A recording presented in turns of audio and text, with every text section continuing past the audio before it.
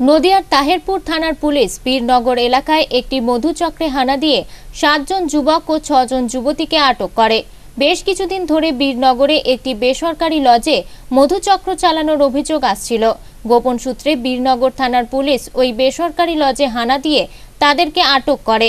এই ঘটনায় এলাকায় চাঞ্চল্য ছড়িয়ে পড়ে। ধৃতদের শনিবার রানাঘাট মহকুমা আদালতে পেশ করা হয়।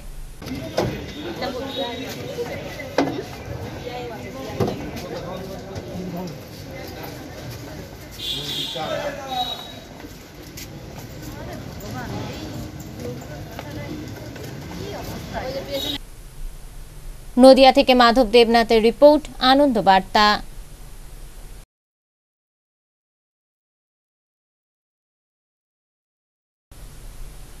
নদিয়ার তাহেরপুর থানার পুলিশ বীরনগর এলাকায় একটি মধুচক্রে হানা দিয়ে সাতজন যুবক ও ছজন যুবতীকে আটক করে। বেশ কিছুদিন ধরে বীরনগরে একটি বেসরকারি লজে মধুচক্র চালানোর অভিযোগ আসছিল। গোপন সূত্রে বীরনগর থানার পুলিশ ওই বেসরকারি লজে হানা দিয়ে তাদেরকে আটক করে। এই ঘটনায় এলাকায় চাঞ্চল্য ছড়িয়ে পড়ে। ধৃতদের শনিবার রানাঘাট মহকুমা আদালতে পেশ করা হয়।